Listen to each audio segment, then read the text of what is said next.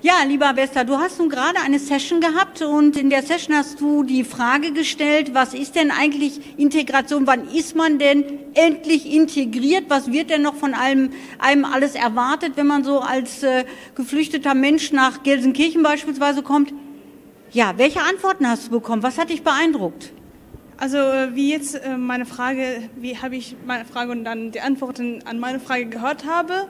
Also äh, manche Frage, äh, Antworten waren richtig hilfreich, und, aber es ist noch nicht so, dass alle Menschen denken, das ist so Integration. Es ist unterschiedlich von einer Person zur anderen, aber wichtig, dass man das richtig versteht kann und man nicht äh, einfach äh, so in falsche Richtung denkt. Also das heißt, ich habe so gehört, dass manche Menschen denken, dass äh, die äh, Integration heißt, dass sie, sie haben äh, so Angst, dass sie ihre Nationalität oder Identität ver vergessen.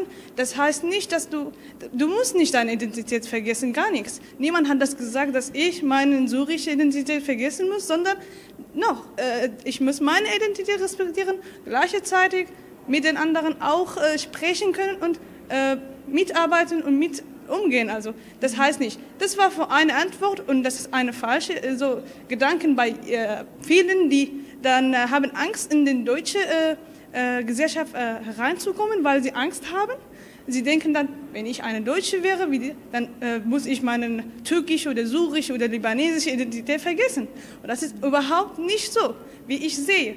Also alles, ich habe nicht so viel Erfahrung, aber als Flüchtlinge, die hier ein Jahr äh, äh, so äh, Fuß gegangen und viel gesehen hat. Das ist meine Meinung.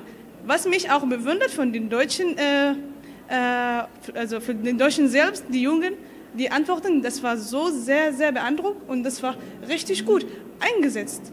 Das war einfach die Antwort. An die äh, Gesetze einhalten und mit, äh, also arbeiten, einfach ist es so.